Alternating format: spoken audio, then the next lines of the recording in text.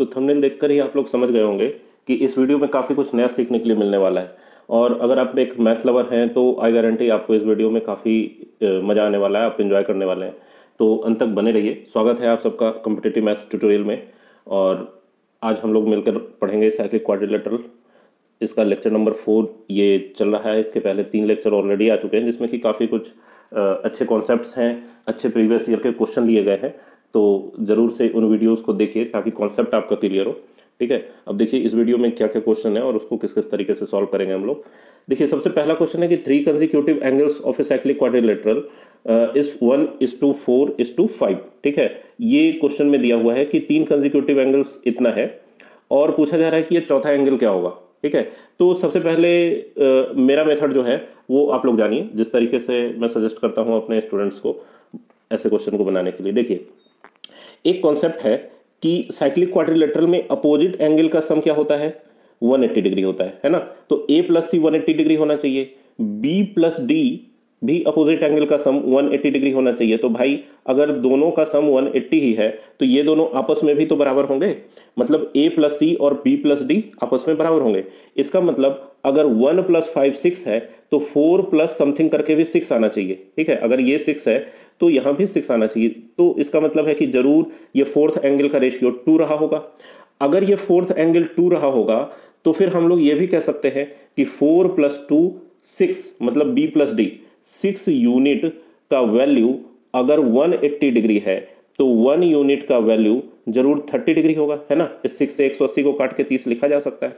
तो one unit अगर 30 degree है तो ये फोर्थ एंगल जो निकाला जाना है, उस टू यूनिट का वैल्यू ज़रूर 30 का दोगुना मतलब 60 डिग्री होगा, जो कि ऑप्शन नंबर टू में है, और यही इसका आंसर है। तो आई मेथड समझ में? ठीक है? देख के इसका आंसर पता चल जाएगा, अगर सही से आप इस कॉन्सेप्ट को समझ रहे हैं तो।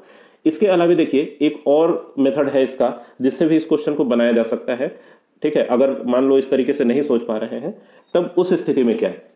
अब देखो one is to four is to five तीन एंगल दिया हुआ है, और फोर्थ एंगल जो है, उसका रेशियो टू हम लोग निकाल सके कि भाई वन प्लस फाइव सिक्स तो फोर प्लस टू भी सिक्स ठीक है?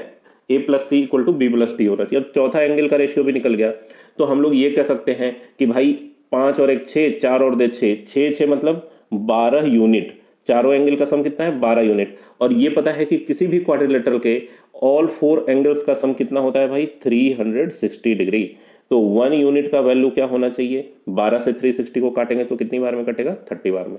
तो वन यूनिट का वैल्यू थर्टी डिग्री होना चाहिए और इस टू यूनिट का वैल्यू अगर निकालें, जो क्वेश्चन में पूछ रहा है तो टू यूनिट क्या हो जाएगा? थर्टी का दोगुना sixty degree option number two तो ये दो तरीका है जिससे कि एग्ज़ाम में आपको सॉल्व करना है। ठीक है, लेकिन बाई चांस ये मेथड नहीं आता है, इस तरीके से करना नहीं आता है और आप एक बिगनर है या फिर इस मेथड को नहीं कभी पहले पढ़ाओ। तो फिर आप ये भी कर सकते हैं जनरली जैसे लोग करते हैं कि भाई एक सर्किल के अंदर साइक्लिक क्वाड्रिलेटरल है कोई, ठीक है? ए बी सी डी ये वो मेथड है जिससे लोग जनरली करते हैं, ठीक है? इनमें से तीन एंगल का रेशियो वन फोर और फाइव पता है, ठीक है? तो A plus C A plus C one eighty degree है। तो भाई अगर हम लोग ये कहें कि ए बी सी और डी निकालना है ए है एक्स बी है फोर एक्स और सी है फाइव एक्स तो ए प्लस सी का मतलब कितना हो गया? X plus five x equal to one eighty degree तो six x equal to one eighty degree या x बराबर कहें थर्टी डिग्री ठीक है? तो x बराबर थर्टी डिग्री अगर आ गया है तो इस एंगल v का वैल्यू कहा जा सकता है? फोर एक्स है तो फोर इंटू थर्टी मतलब कितना? वन हंड्रेड ट्वेंटी डिग्री अब एंगल बी अगर 120 निकला है तो एंगल डी कितना होना चाहिए भाई? तो एंगल डी का वैल्यू क्या होना चाहिए? 180 डिग्री माइनस एंगल बी तो 180 में से अगर एंगल बी का वैल्यू 120 घटा दिया जाए तो क्या आएगा घट के 60 डिग्री तो एंगल डी का वैल्यू 60 डिग्री। लेकिन ये मेथड थोड़ा सा बड़ा हो जाता है, ठीक है? लेकिन कन्वेंशनल मेथड है सॉल्व कर सकते हैं, लेकिन ये थोड़ा टाइम टेकिंग है, ठीक है? तो आप लोग को वही पहले वाला दोनों मेथड यूज़ करना है। नेक्स्ट देखिए, अगला क्वेश्चन क्या है? In a cyclic quadrilateral ABCD the side AB is extended to point X, ठीक है? एक साइक्लिक क्वाड्रिलेटरल है ठीक है? देखो, इसमें कहा जा रहा है कि A B is extended to X कुछ भी नहीं करना है जैसे जैसे क्वेश्चन कह रहा है, सही फिगर ड्रॉ करें। किसी भी ज्योमेट्री के क्वेश्चन में सबसे इंपॉर्टेंट ये है कि फिगर सही सही ड्रॉ होना चाहिए। आधा प्रॉब्लम तो वहीं सॉल्व हो जाता है। ठीक है? तो ए बी को एक्सटेंड किया गया एक्स तक। अब क्या कहा जा रहा है? एक्स बी सी कितना है भाई? 82 डिग्री अब एक्स और बी तो यहाँ मिल चुका है। एक्स बी मिल चुका है। और सी तो सी यहाँ पे कहीं ले लो। ठीक है? ये एक्स बी सी ये सी यहाँ पर ले लिया और ये एंगल कितना दिया हुआ है? 82 डिग्री और क्या कहा जा रहा है? Angle A D B forty degree तो डी इधर कहीं होगा, इस तरफ़, ठीक है? ये डी जो है A A D B A D C ठीक है? ये देखो, यहाँ पर डी है ए डी बी अब इसमें ए डी बी के बारे में पूछा जा रहा है, ठीक है? Angle A D B A D B ये एंगल ये कितना दिया हुआ है? फोर्टी सेवन डिग्री ठीक है? तो इस क्वेश्चन में पूछा जा रहा है एंगल बी डी सी क्या होगा? भाई बी डी सी ये एंगल क्या होगा? ये पूछा जा रहा है, ठीक है? बी डी सी का वैल्यू निकालना है। फिगर अगर ड्रॉ हो गया तो उसके बाद फिर ये सेकेंड्स का काम है। अब देखो एक कॉन्सेप्ट है साइक्लिक क्वाड्रिलेटरल का, ये भी पिछले वीडियोस में आ चुका है कि एक्सटीरियर एंगल ये जो एक्सटीरियर एंगल है इस साइक्लिक क्वाड्रिलेटरल में, ये एक्सटीरियर एंगल ये इस इंटीरियर एंगल के बराबर होता है। मतलब कि एंगल ए डी सी का वैल्यू बराबर होगा एंगल एक्स बी सी के बराबर। ठीक है? इस इंटीरियर एंगल का वैल्यू इस एक्सटीरियर एंगल के बराबर होगा। ठीक है? इस कॉन्सेप्ट को याद रखना है। आ रहा है बात समझ में। अब एंगल एडीसी जो है, वो क्या है भाई? तो एंगल एडीसी आप देख रहे हैं कि दो दो एंगल का सम है। इसमें कौन कौन से है? एक्स और प्लस फोर्टी सेवन डिग्री ठीक है? बराबर। X B C X B C का वैल्यू भी डायरेक्ट गिवन है क्वेश्चन में एट्टी टू ठीक है? बस इतना सा ही सवाल में कैलकुलेशन है। बाकी तो कॉन्सेप्ट था और फिगर ड्रॉ करने में जो मेहनत था। अब ये 47 अगर इधर आके घटता है तो x का वैल्यू क्या हो जाएगा? 82 टू माइनस फोर्टी डिग्री जो कि आपका आएगा 35 डिग्री ऑप्शन नंबर टू इसका आंसर है। आया बात समझ में? तो हाँ हो कीजिए कुछ, ताकि पता चले कि समझ में आ रहा है। कमेंट में कुछ लिख कर बताइए। कमेंट नहीं करते हैं आप लोग वीडियो तो पूरा देख जाते हैं, लेकिन कमेंट नहीं आते। तो अगर बात समझ में आए तो भी बताइए। अगर कुछ नहीं समझ में आए तो भी ज़रूर बताइए कि यहाँ इस जगह पे सर समझ में नहीं आया। ठीक है? चलिए नेक्स्ट क्वेश्चन देखें हम लोग। A B C D is a cyclic quadrilateral of which A B is the diameter ठीक है? अब देखो, इसमें भी जैसे जैसे क्वेश्चन में कह रहा है, बस सेम टू सेम हम लोग क्वेश्चन फिगर ड्रॉ करते जाएँगे, ठीक है? सारा कलाकारी फिगर ड्रॉ करने में ही है। A B C D is a cyclic quadrilateral A B C D cyclic quadrilateral है, जिसमें ए बी क्या है भाई? ए बी के बारे में कहा जा रहा है कि वो डायमीटर है। तो चलो, एक डायमीटर ड्रॉ कर लो इसमें। और इस डायमीटर का नाम क्या देना है? इस डायमीटर का नाम देना है ए बी ठीक है? ये हो गया ए और इधर हो गया B diagonal A C and B D intersect at E अब एक तो डायगोनल ये ए सी है, दूसरा डायगोनल है भाई बी डी ठीक है? ये दो डायगोनल है और ये इंटरसेक्ट कर रहे हैं ई e पर, ठीक है? तो पूछा क्या जा रहा है कि एंगल डी बी सी दिया हुआ है थर्टी फाइव डिग्री तो डी और बी तो यहाँ है सी ये एंगल डी बी सी ये है थर्टी फाइव डिग्री ठीक है? और क्या ए ई डी के बारे में पूछा जा रहा है? ए ई डी इस एंगल के बारे में पूछा जा रहा है। तो इसको आप पहले तो क्वाड्रिलेटरल बनाइए ठीक है? और ये बात भी पहले बताया हुआ है, हमेशा फिगर इस तरीके से ड्रॉ होना चाहिए कि ए बी सी डी ये चारों नेमिंग जो है, ये क्लॉकवाइज या एंटी क्लॉकवाइज हो। तो यहाँ एंटी क्लॉकवाइज आ रहा है मतलब फिगर सही है। ठीक है? अब देखो, इसमें इस एंगल का वैल्यू आपको दिया हुआ है कितना? थर्टी फाइव डिग्री ठीक है? तो हम लोग जानते हैं कि अगर ये एंगल थर्टी फाइव है तो ये वाला एंगल भी थर्टी फाइव डिग्री होना चाहिए, है ना? क्यों? क्योंकि कॉर्ड सी से सरकमफेरेंस पर एक ही तरफ़ जो भी एंगल सबटेंड होंगे, चाहे वो एंगल सीएडी हो या एंगल सीबीडी हो, ये दोनों एंगल आपस में क्या होंगे? बराबर होंगे। ठीक है? ये भी कॉन्सेप्ट है कॉर्ड का। ये सी डी कॉर्ड से एक एंगल सी डी ड्रॉ हुआ और एक angle C B D draw हुआ। ये दोनों एंगल आपस में क्या होंगे? बराबर होंगे। अच्छा एक कॉन्सेप्ट तो ये लग गया। दूसरा कॉन्सेप्ट क्या है कि, देखिए, इस चीज़ को मैं लिख देता हूँ कि angle angle C A D बराबर एंगल सी बी डी बराबर थर्टी फाइव डिग्री हो गया, ताकि आप लोग नोट कर सकें। ठीक है एग्ज़ाम में वैसे लिखना नहीं है, बस समझना है, ठीक है?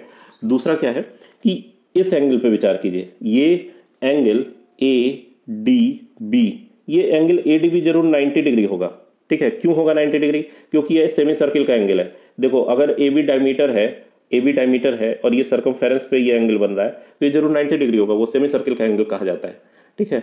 तो अब देखो इसमें आ, हम लोग ये कह सकते हैं कि भाई तीसरा एंगल ए ई डी पूछा जा रहा है तो ए ई डी के लिए क्या करना है?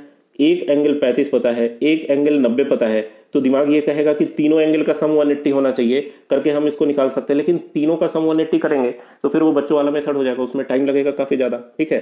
तो समझिए क्या कह सकते हैं कि एक कॉन्सेप्ट और आप लोग को देने जा रहे हैं, जो आप डायरेक्ट यूज़ कर सकते हैं एग्ज़ाम में टाइम सेविंग के लिए। ठीक है? इस क्वेश्चन को समझने में जो भी समय लगे, बनाने में समय नहीं लगेगा। ये एक राइट एंगल ट्रैंगल है। ठीक है? जिसमें यहाँ पे नब्बे डिग्री है। तो भाई, इस एक्स और वाई दोनों एंगल का सम इन दोनों एंगल का सम भी 90 होगा। क्यों? क्योंकि एक एंगल इसका ऑलरेडी 90 है। तो बाकी दोनों भी का सम 90 होगा, तभी तो जोड़ के तीनों 180 बनेंगे। तो इस ट्रैंगल इस ट्रैंगल ए डी ई में हम लोग ये कह सकते हैं कि भाई angle D A E plus इसको मान लो एक्स ठीक है? ये एक्स मान लो।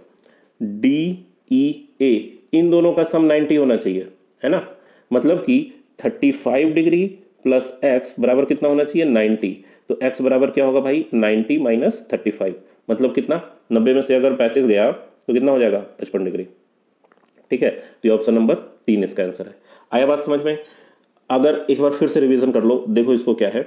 ये क्वेश्चन कह रहा है कि अगर ये एंगल 90 है सॉरी 35 है तो ये एंगल 35 होगा। और ये एंगल कितना होगा? 90 सर्कमफेरेंस पे बन रहा है सेमी सर्किल का एंगल तो ये 90 अब ये 90 है भैया, ये 35 है तो ये तीसरा एंगल निकालना बहुत आसान है। उसमें हम लोग कर सकते हैं कि 35 five plus x equal to ninety तो x equal to ninety minus thirty जो कि 55 है। एग्ज़ाम में बस इतना कैलकुलेशन आपको करने का ज़रूरत पड़ेगा, अगर आपका सही से प्रैक्टिस है और कॉन्सेप्ट आपको पता है तो। ठीक है?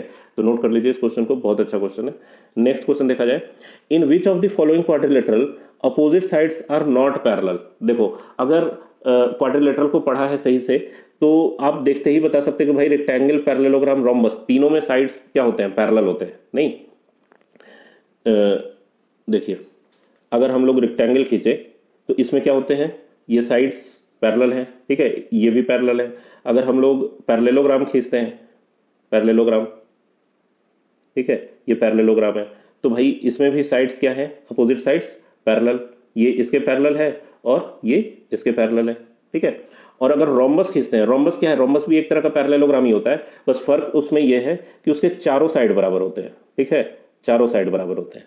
तो ये है क्या? रोम्बस इसका इसका चारों साइड बराबर होगा। ये साइड ये साइड ये साइड ये साइड चारों साइड बराबर। लेकिन अपोजिट साइड्स इसके पैरेलल होंगे, ठीक है? तो बचा कौन? काइट तो अगर तीन के बारे में पता है तो चौथा आप आंसर कर सकते हैं। लेकिन काइट का प्रॉपर्टी भी पता होना चाहिए। देखिए काइट किस तरह का क्वाड्रिलेटरल है, इसका प्रॉपर्टी मैं बता देता हूँ आप लोगों को। वैसे पहले बताया जा चुका है, इस चैनल पे काइट से रिलेटेड एक शॉर्ट वीडियो ऑलरेडी अवेलेबल है। आप लोग उसको देख सकते हैं। देखिए ए बी सी डी ये एक काइट है। इसका प्रॉपर्टी ये है कि ये एडजस्टेंट साइड्स जो हैं, ये बराबर होते हैं इसमें। मतलब A B equal to A D ठीक है? और A B equal to A D और ये B C equal to D C ये साइड बराबर होंगे। तो पहला प्रॉपर्टी तो ये है एडजस्टेंट साइड्स बराबर A B equal to A D और B C equal to B D दूसरा प्रॉपर्टी ये है कि डायगोनल्स एक दूसरे को 90 डिग्री पे काटते हैं, ठीक है? डायगोनल एक दूसरे को, एक दूसरे को 90 डिग्री पर काटेंगे। तो काइट का मेन यही दो प्रॉपर्टी है। और इस वजह से चूँकि डायगोनल एक दूसरे को 90 डिग्री पर काटते हैं और आपस में बराबर भी नहीं होते हैं, इसके साइड्स जो है ए बी और सी डी ये पैरेलल नहीं हो पाता है। ठीक है? तो काइट पे एक डिटेल वीडियो अलग से आप लोग को बता दिया जाएगा, इस चैनल पे आएगा, ठीक है? तो मिलते हैं नेक्स्ट वीडियो में। तब तक आप लोग प्रैक्टिस करते रहिए और तरह तरह के क्वेश्चन जो भी हैं आपके साइक्लिक क्वाड्रिलेटरल से रिलेटेड क्योंकि फ़िलहाल में यही टॉपिक चल रहा है तो उसको आप बनाते रहिए। और अगर किसी भी तरह की दिक्कत हो तो आप कमेंट में पूछ सकते हैं, ठीक है? तो मिलते हैं नेक्स्ट वीडियो में।